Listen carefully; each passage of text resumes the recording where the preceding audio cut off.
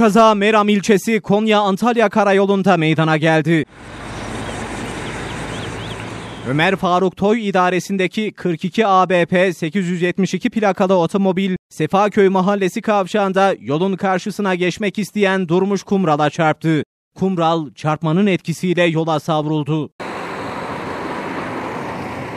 İhbar üzerine olay yerine gelen sağlık ekipleri 70 yaşındaki Kumral'ın hayatını kaybettiğini belirledi. 28 yaşındaki sürücü gözaltına alındı. Olayla ilgili başlatılan soruşturma sürüyor.